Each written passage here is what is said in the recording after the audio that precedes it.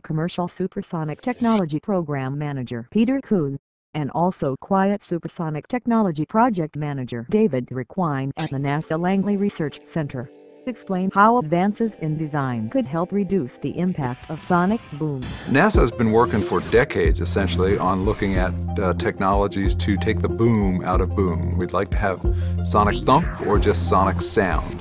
And the idea is to design the airplane so that the shock waves that, that are produced in supersonic flight are arranged in such a way that you don't have a boom. You have a, uh, just kind of a general gradual pressure rise which produces a quiet sound.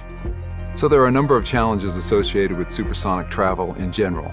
Uh, we want the airplanes to be environmentally friendly, so we want them to be quiet around the airport, and we also want them to have low emissions. NASA has worked a number of technologies which could reduce the noise of sonic boom. Right now we're doing the preliminary design, we call that activity QueSST, for quiet supersonic technology. So we've tested them in wind tunnels, but now the next phase is to take the technologies and test them in flight. So to do that, we're building an X-plane design and the eventual low-boom flight demonstration aircraft that represents the boom of a larger airplane. The idea is to prove the technology, uh, show how robust it is in, in a variety of atmospheric conditions, but ultimately to prove that the sound that's created is acceptable to people on the ground.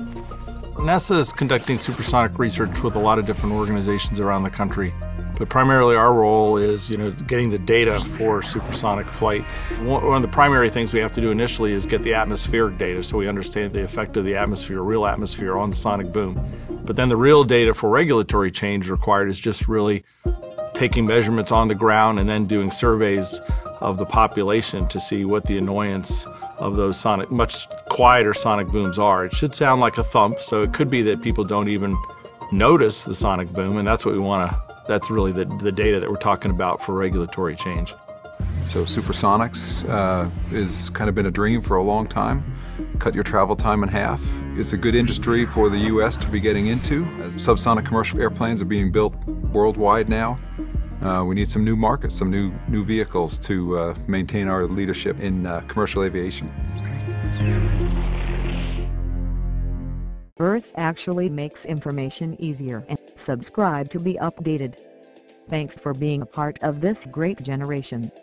One love keeps us together as one.